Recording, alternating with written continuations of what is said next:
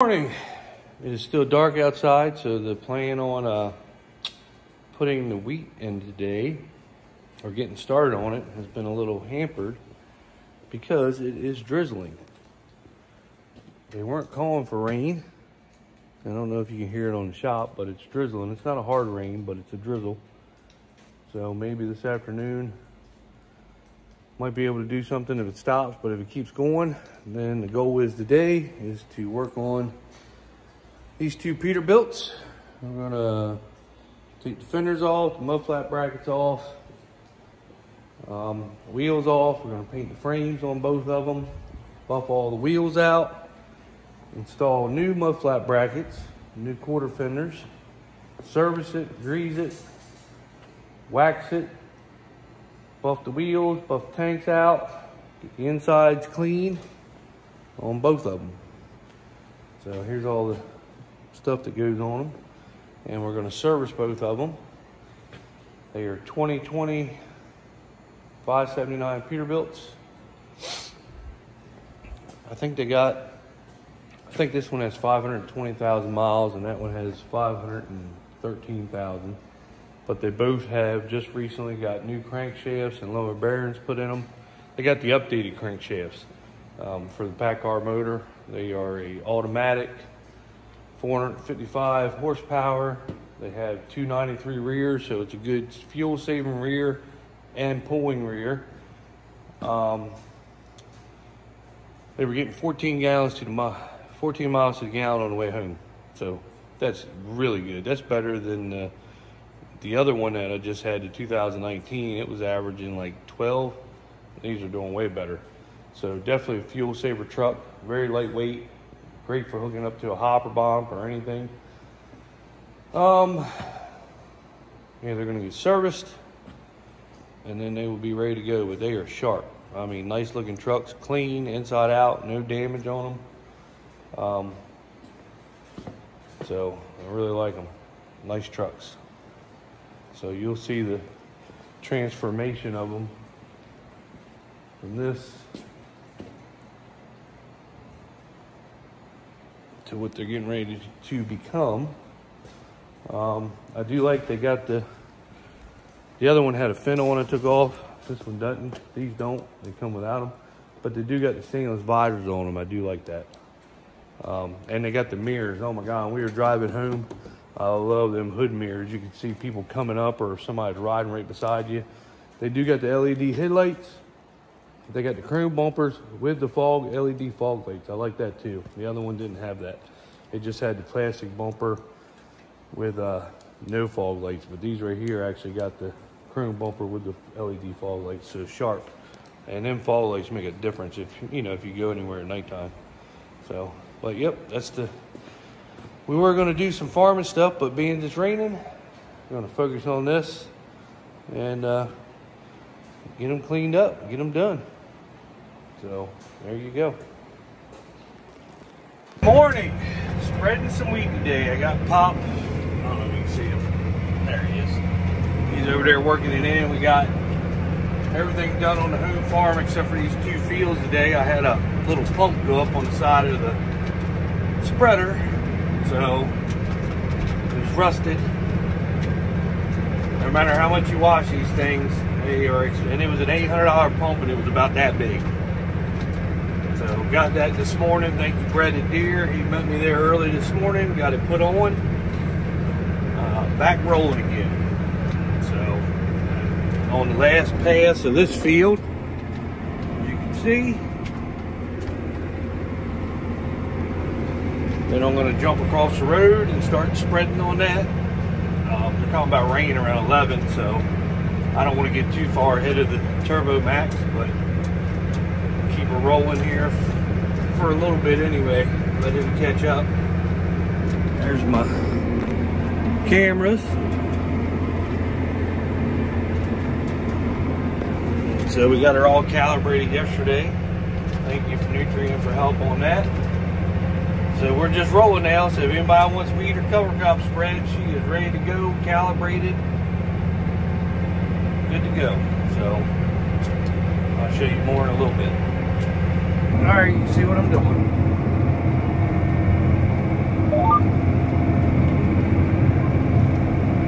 I'm putting weed in.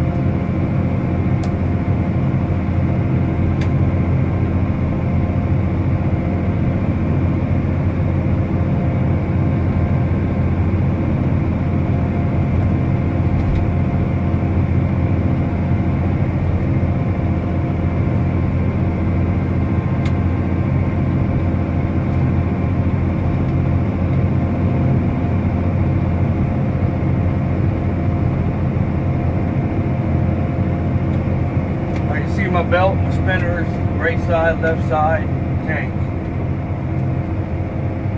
That is a really nice camera. You can get them off Amazon. I think 200 and some bucks. It comes with four cameras and that screen so you can see everything at one time. Uh, Case and Deere wanted for one of them shitty Voyager cameras like 1200 bucks. And they're nowhere near as nice and they only come with two cameras with a little screen. Right here is a big HD screen. You can see everything you want. Has Bluetooth, everything. I put one in my brother's tractor. I'd like to get one in my tractor eventually. That's probably what we'll do this winter.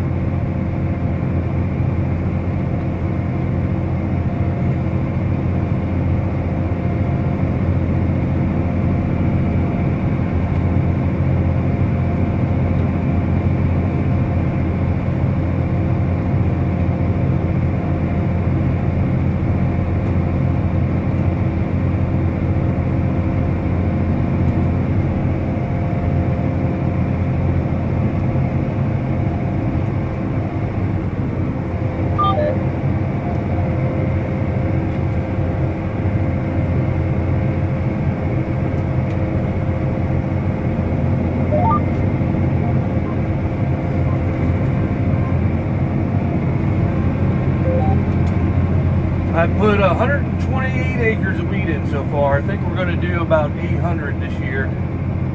Wheat.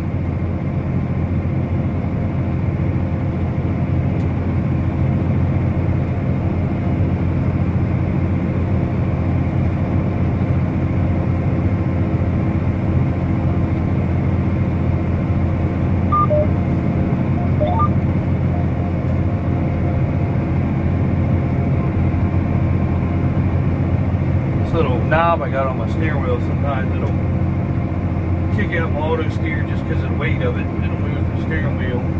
Things are touching. Just hit the button and keep rolling.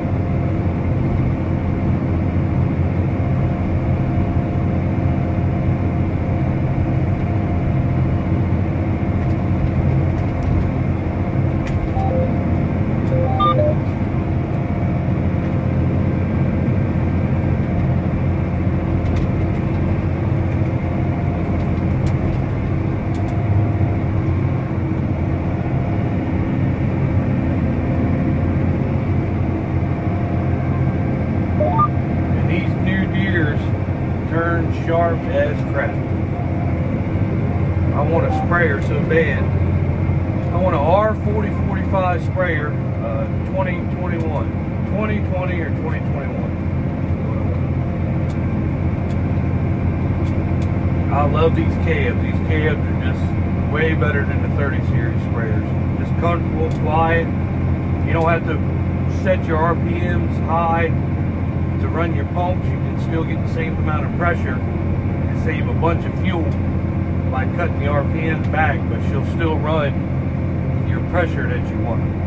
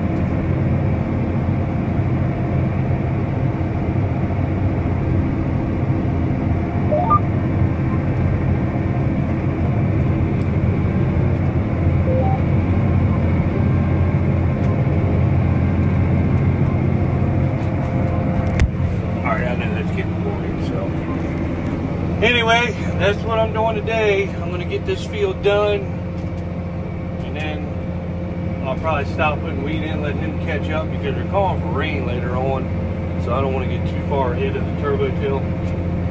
Um, I might go cut a couple loads of corn for my brother, and uh, it rains, to see what it's doing. I've been letting it dry out for a week now. So who knows? It seems like corn just will not dry down this year. It gets about 2021, that's it. it. Seems like, and we're starting to get some colder days, so it doesn't seem like it wants to dry down as much. So I don't know. So if you see me in the combine later, I'll see you later.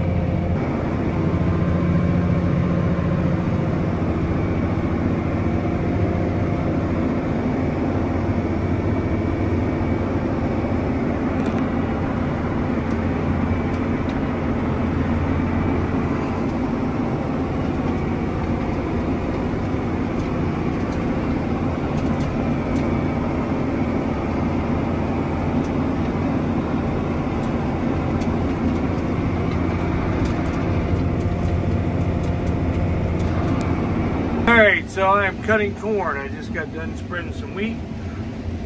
This is the 115 day seed consult and we're gonna go ahead and open this field up here at the home farm. And that's what it's doing right now. 115 day seed consult. I'd say that's pretty good corn right there. Dry land corn.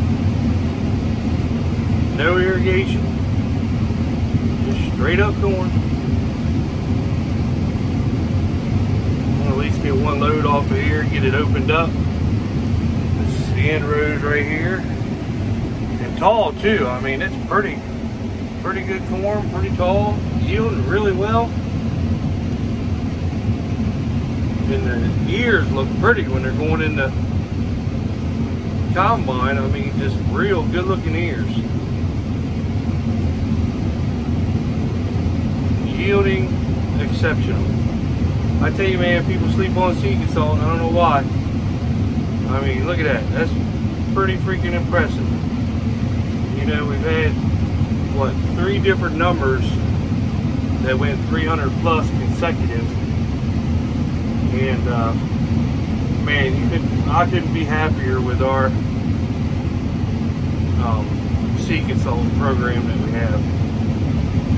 The early season got hurt by uh, the 104 day and 105 day got hurt by the drought really bad. I planted early, but it still yielded 189 bushels. So, I mean, that's that's pretty good for two months with no rain. And then the 108 day, of course, you all seen what that did. And this right here is the 115 day. So it gets a little wetter down here by the woods. You see the first pass over there, that's the ditch where the old uh, CRP strips were that we did away with. They didn't grow very well. I just no-tilled into them this year.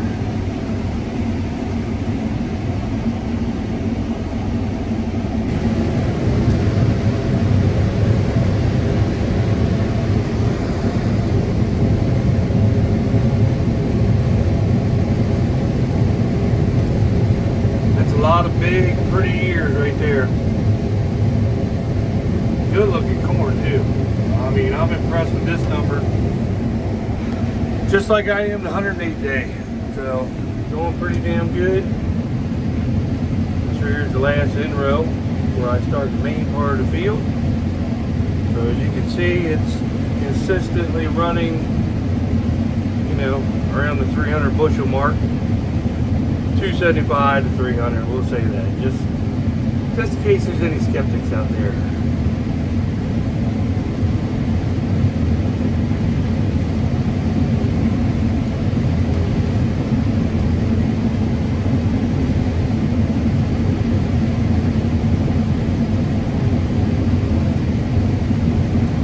Get these inrows off, let it air out a little bit.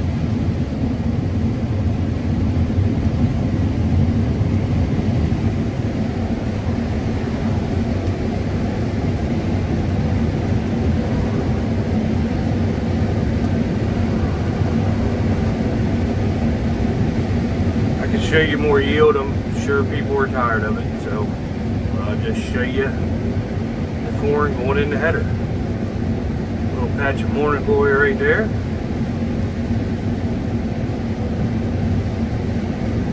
Oh, there's a bare spot.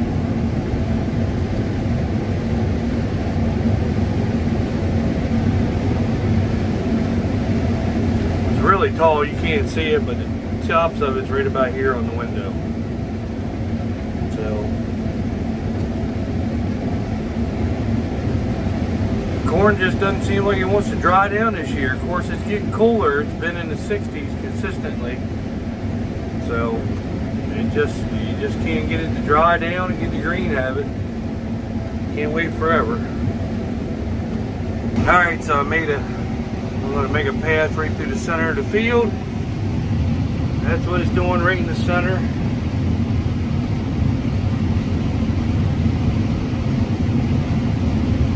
So, pretty good corn. Right in the center of the field.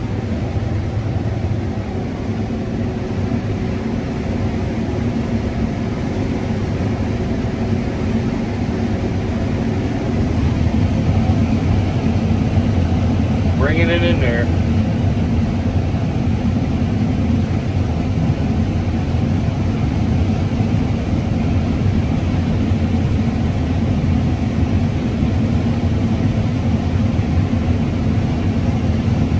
It's pretty much 300 bushel everywhere. So pretty happy about that.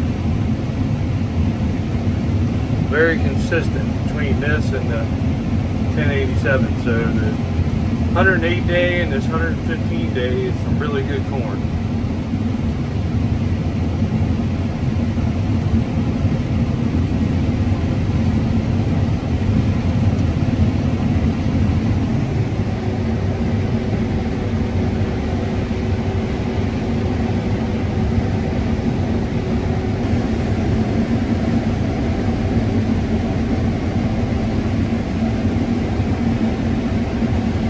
tell you, it's some good damn corn.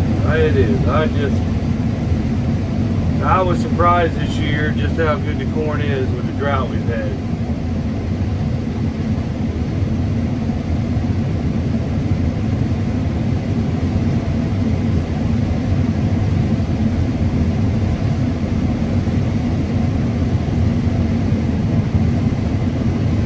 Pretty, pretty happy.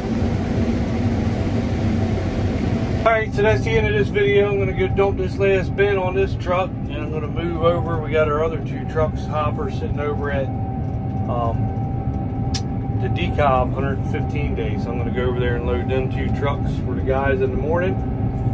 And uh, this is the end of this video. So like, subscribe, share, and please give it a thumbs up. Because for some reason, it helps the algorithm on YouTube so I can get more views and more subscribers. Just saying, you ain't got to, but come on. If I got a thousand, forty, four hundred, or 14, 1500 views on a video, there should be like 1500 thumbs up, right? Or give me a thumbs down. Hell, I don't care. Like I said, I do all this, try the videos everybody just see what it's like, and I don't hide anything, hold anything back. So, whether you like me or not, at least I'm honest and truthful.